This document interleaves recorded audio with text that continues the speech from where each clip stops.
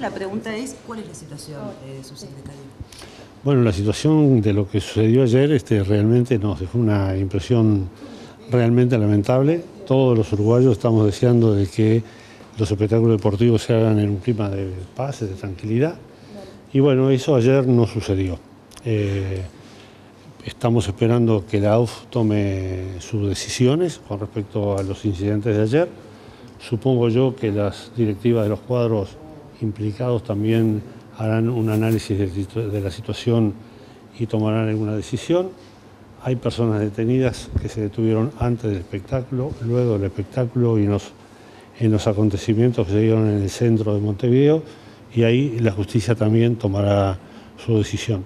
Luego de eso, bueno, el Ministerio hará la evaluación correspondiente, nosotros estamos analizando el comportamiento del, del procedimiento policial y también tomaremos las decisiones que corresponden. que ¿Cuándo habrá una responsabilidad de los clubes y eh, habrá una lista de barras bravas de gente peligrosa que ingresa a las canchas y que obtiene las entradas? Los clubes en general saben quiénes son. ¿Cuándo se va a tener esa información? Bueno, yo creo que por parte de los clubes nunca.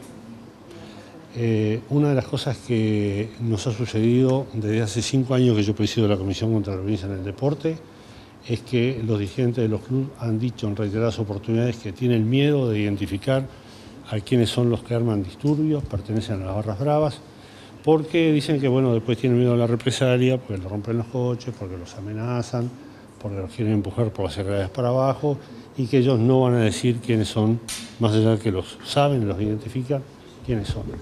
Por eso hemos impulsado la, mm, instalación de un sistema de, de identificación facial en las canchas, de manera tal que permita identificar quiénes son los que participan en los hechos violentos y que ahí, bueno, la dirigencia de los cuadros no tenga necesidad de decir estos este, mm, no queremos que entren, sino simplemente decidir que aquellos que participen en hechos violentos, identificados por las, por las cámaras, después no van a poder entrar en ningún espectáculo deportivo. ¿Ayer ya estuvieron funcionando esas cámaras, ayer, ayer, fue una, una prueba que se hizo porque hubieron varias empresas que se presentaron a la licitación. Esta es una compra que va a hacer la AUF, pero el sistema lo va a manejar el Ministerio del Interior. Y, bueno, se le pidió a una de las empresas que había ofertado que hiciera una, demostración. Yo no creo que tengamos muchos resultados de, lo que hayan grabado las, las, cámaras, más que saber si el sistema funciona o no funciona. En realidad, nosotros sabemos que el sistema funciona. Tenemos la sensación de que la AUF o porque no tiene dinero o por algún motivo está tirando la pelota para adelante. Hace ya un año que lo hemos discutiendo. Nosotros le dimos a los técnicos del Ministerio del Interior, seleccionamos las posibles empresas, cuál era la mejor tecnología dentro de los precios más o menos aceptables, pero ellos son los que tienen que hacer la inversión. Ahora, más allá del miedo que puedan decir los dirigentes de, los clubes que tienen de identificar a los barra bravas, una cosa es identificar y otra cosa es fomentar que, por ejemplo, vayan a los, a los partidos. En esta ocasión hay datos de que se, desde el lado de la seguridad de Peñarol se le entregó entradas a barras bravas.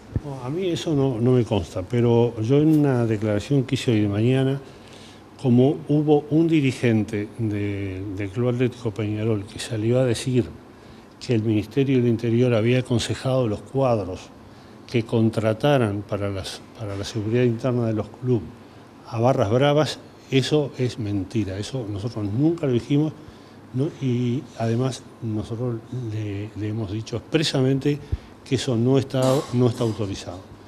En una reunión que yo tuve con el presidente de Peñarol y con el señor presidente de Nacional, Damiani me dijo, el mecanismo que nosotros utilizamos es el siguiente compramos 200 entradas en la AUF. Se la damos a Vega, que es el encargado de la seguridad, y él la reparte entre un grupo de gente que son los que se encargan de mantener el orden. Yo le dije, eso no se puede hacer. Y Nacional tiene un, eh, un procedimiento que es totalmente diferente. Ellos tienen contratado un grupo de gente y los tiene perfectamente identificados y los tiene registrados en la oficina de Renaense, que es la oficina del Ministerio de Interior, que controlan las empresas de seguridad privada y ellos son el primer elemento de contención cuando hay alguna dificultad con la hinchada. ¿Por qué insistimos nosotros con que este primer elemento de contención tiene que ser eficiente?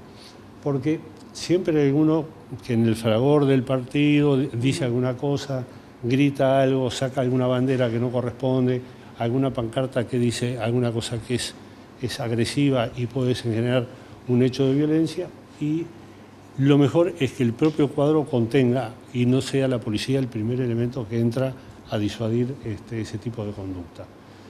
Bueno, hay cuadros que lo han hecho, hay otros cuadros que lo han hecho un poquito, hay otros cuadros que no lo han hecho y otros cuadros que utilizan mecanismos que no son los adecuados. Yo creo que acá lo que, lo que no funciona es que no se termina de asumir la responsabilidad eh, por parte de cada uno de los actores. Si estamos todos de acuerdo de que tiene que haber espectáculos deportivos con hinchada y, en un clima de paz y tranquilidad, yo creo que todos tenemos que hacer la tarea que nos corresponde. ¿Y esto se lo van a exigir a Peñarol también que utilice el mismo mecanismo de Nacional? Sí, por supuesto, eso está exigido ya hace bastante tiempo y hay, no lo cumplen. hay un acuerdo firmado y no lo cumple.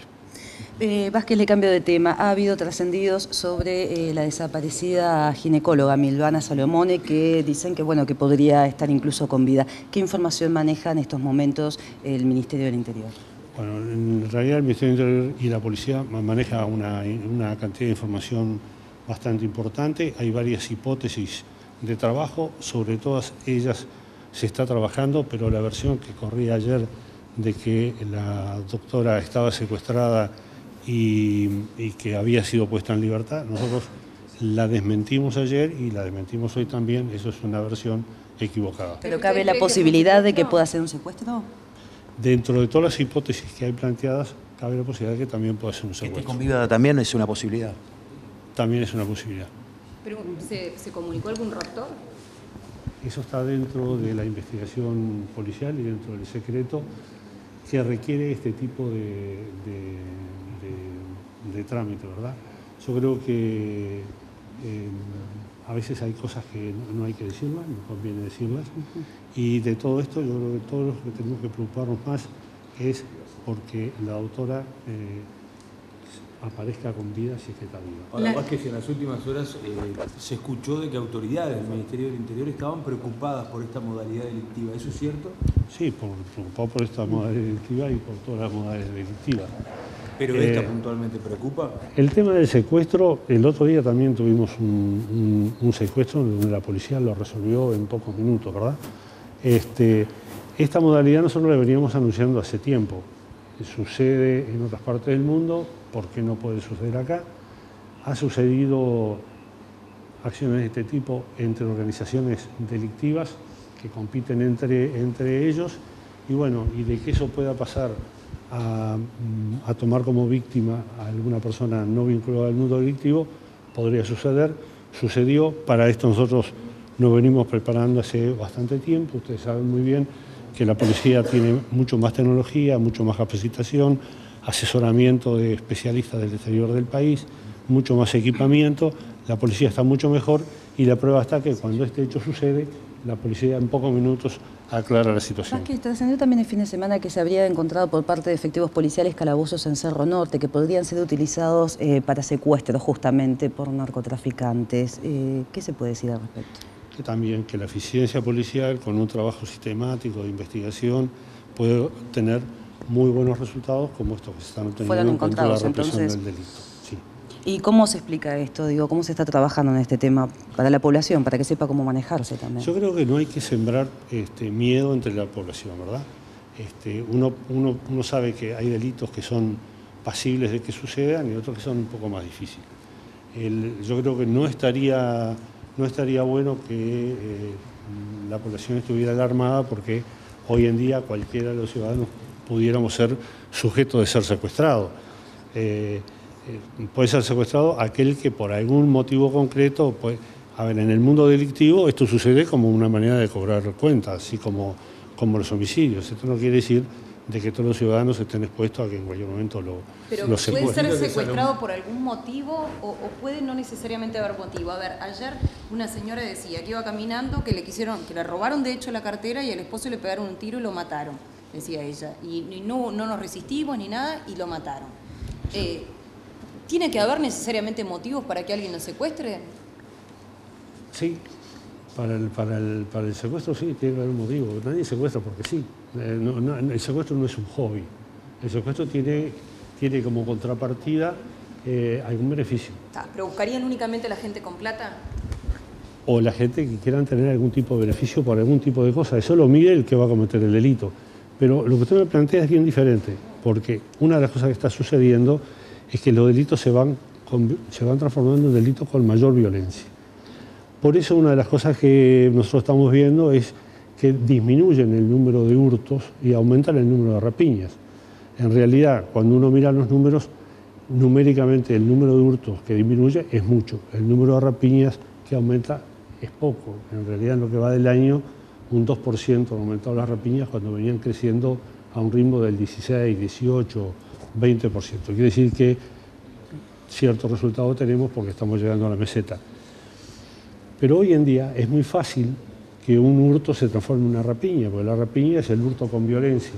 Y en una sociedad que se va transformando cada vez más violenta, es muy, es muy posible que los hurtos se transformen rápidamente en, en una rapiña. Y los delincuentes también saben de que la policía actúa muy rápidamente. Nosotros hemos puesto un límite para la respuesta policial de siete minutos. Estamos viendo de que la policía está respondiendo en tres minutos. Ellos saben que en tres minutos tienen que robar y se tienen que ir y tratan de sembrar miedo entre la gente. ¿Cuál es la ventaja que tiene el delincuente? Es el que tiene la iniciativa. Tiene la iniciativa, es el que da el primer paso, es el que trata de amedrentar y el que se resiste le dispara. Esa modalidad es distinta a la, del, secuestro. En esa modalidad el, lastimar o el herir de un balazo al otro es un mensaje para que la gente no se resista y ellos puedan en poco tiempo eh, hacer, el, hacer la rapiña. En caso del secuestro se busca algún beneficio que el que lo mide es el secuestrador, no el secuestrado. Volviendo a los incidentes, ¿hubo policías heridos? Sí, hubo policías heridos de menor entidad. ¿Qué evaluación hacen ustedes de la acción policial ayer durante el Clásico? Llamó la atención eh, que devolvieran las butacas que los hinchas de Peñarol le tiraban. Sí, claro, eso llama la atención. Estamos haciendo una investigación y se tomarán las medidas disciplinarias que, correspondan. Usted tiempo atrás había dicho que a gente que le pasan cosas graves es porque andaba metido en algo raro. Eso lamentablemente va quedando atrás con esto de los secuestros. Estamos entrando en otro capítulo de, policial. No, perdóneme, pero usted está equivocado. Hubo una mala interpretación de lo que yo dije. En ese momento se estaba hablando del porcentaje de, personas que, morían en manos de los delincuentes. Y como a nosotros nos preocupan todas las personas que fallecen, yo dije, en el Uruguay la tasa de mortalidad por accidentes de tránsito son 16 muertos cada 100.000 habitantes.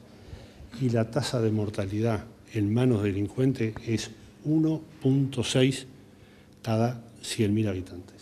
En ese contexto yo dije también de que la mayoría de las personas que estaban, eh, que mueren por hechos violentos, estaban vinculados al mundo del delito. De hecho, el gran porcentaje de homicidios que tenemos son entre personas que se conocen o vinculados al mundo del delito. Eso se tergiversó como diciendo de que todas las personas que están heridas o que son muertas a punto de partida de la acción eh, delictual son todos delincuentes. Yo no le dije eso, eso se tergiversó. No me extraña que se haya tergiversado porque se hace en el contexto de una campaña electoral y en la campaña electoral mucha gente trata de aprovechar estas cosas para sacar rédito político. Cosa que está muy mal porque lo que nos debe preocupar a todos los políticos es la seguridad de los ciudadanos, no que nos voten más o menos.